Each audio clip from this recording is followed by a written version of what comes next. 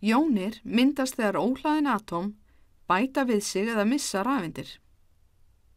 Katjón er jákvægt hlaðin jón eða plúsjón, þar að segja atóm sem hefur gefið frá sér rafindir. Eins og til dæmis natrín.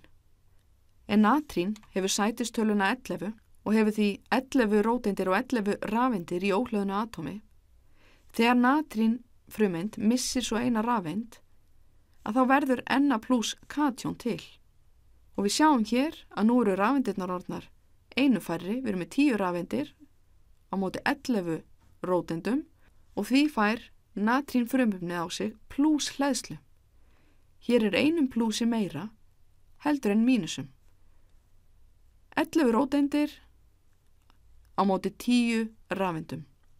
11 plussar á móti 10 mínusum en heildar hlæðsla jónar er sínt sem ímist 1 pluss, 2 pluss eða 3 pluss og sínir þannig að jónin hefur mist eina, tvær eða þrjár rafindir.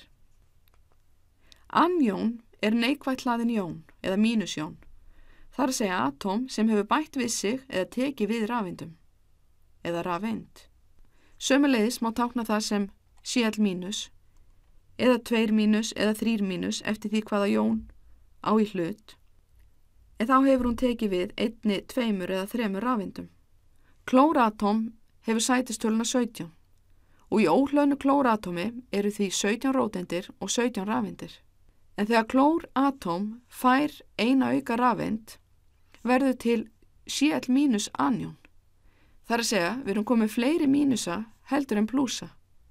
Það eru 18 rafindir en bara 17 rótendir. Og við sjáum þessa auka rafind sem 1 mínus hjá atominu. Almenna reglan er svo að málmatóm vilja gefa rafindir og mynda katjónir sem eru jákvægt hlanarjónir eða plúsjónir en málmleysingjar vilja bæta vissi rafindum og mynda anjónir sem eru þá neikvægt hlanar jónir eða mínusjónir. En þetta er gert til að ná sama stöðu ástandi og eða loftegundirnar sem eru næstar þeim. Og þessi myndir er mitt svolítið sniðug hvernig gott er að muna katjónir og anjónir og hvað er pluss og hvað er mínus. En þá má hugsa þetta þannig að katjóns are positive eða katjónir eru jákvæðar eða plusslanar. Atvið einnig að jónir hafa allt aðra eiginleika en atomins að þær eru myndaðar úr en hleðslan gjörbreytir hegðan atomana og auk atomjóna eru einni til samyndajónir eins og til dæmis nítratjón sem er N og 3 mínus og sulfatjón sem er S og 4 mínus en í samyndajónum eru tvöða fleiri atóm tengt saman og á þeim er jákvæð eða neikvæð rafhleðsla. Fjöldi rafinda sem atóm missir eða teku við er háð stöðu þess í lótukerfinu.